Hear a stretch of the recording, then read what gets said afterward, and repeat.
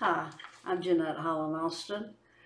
Uh, after the campaign during the Revolutionary War of 1774 in New Jersey, where the British lost to General Daniel Morgan of the American forces, uh, one of the officers, the British officers, uh, stepped forward and asked to uh, see the American commander who had fought that day, that that's the person he wanted to present his sword to. Well, that was Captain Benjamin Taliaferro. And he hesitated to step forward. Um, he hesitated and hesitated because his dress was in shambles.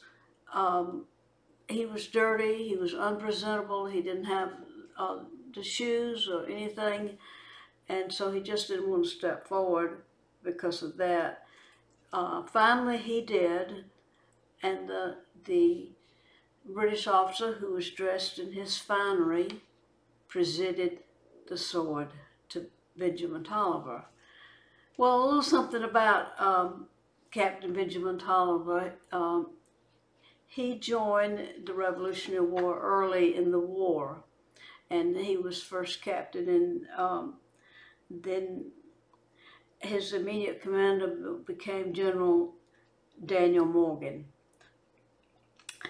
And uh, during the British, when the British sieged Charleston, they also took Captain Taliaferro as a prisoner.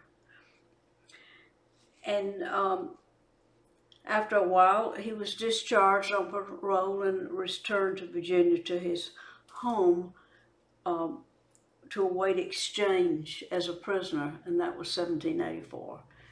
So all of these uh, stories are found on GeorgiaPioneers.com. I hope that you come and visit us and search for your ancestors. Thank you.